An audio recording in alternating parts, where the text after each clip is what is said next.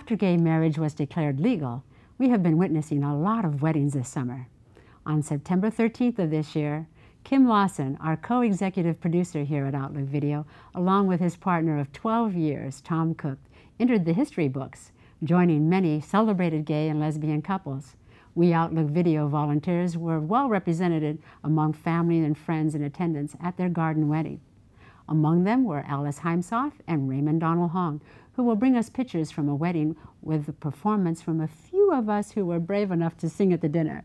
I think I saw some of those.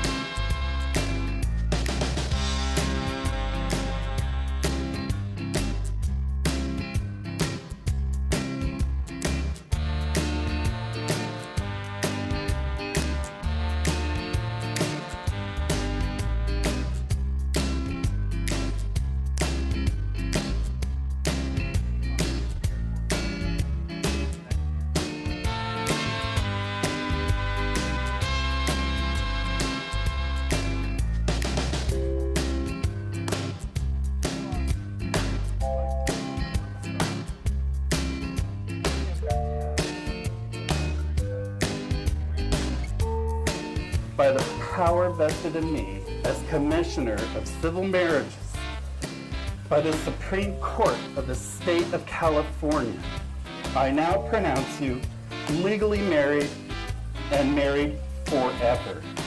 You may now share your first kiss as married partners.